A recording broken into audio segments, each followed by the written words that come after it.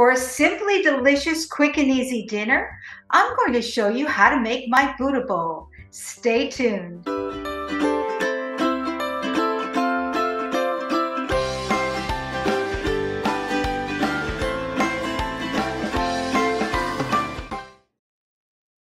For busy people on the go, a great way to ensure a healthy meal is to pack it with lots of delicious, nutritious ingredients. And I do just that with my Buddha bowls. What is a Buddha bowl? Well, it's customarily a vegetarian meal served on a single bowl or a high rimmed plate, which consists of small portions of several foods served cold.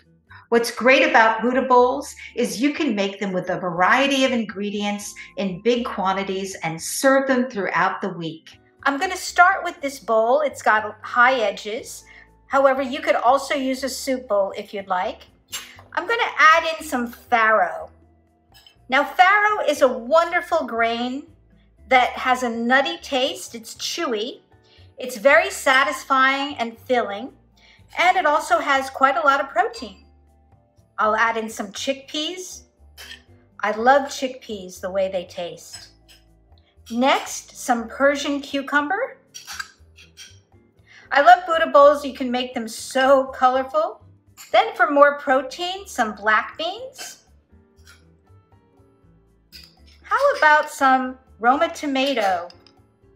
You know what? This is also like a, a salad, a different kind of a salad, if you will and some cauliflower floret.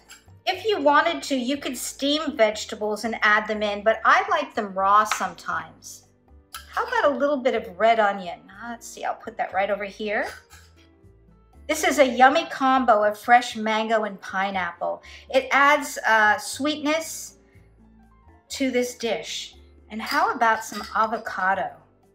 See, I'll put that over here. Look at how beautiful that is looking. And I'll squeeze lime juice all over the top.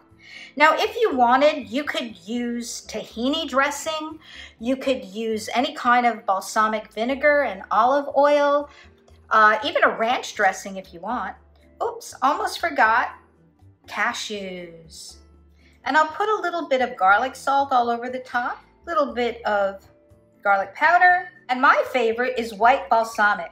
Now there, isn't that gorgeous? You can personalize your Buddha bowl with whatever vegetables you like and make them vegetarian, vegan, or you can add in chicken or fish. Buddha bowls are simply delicious.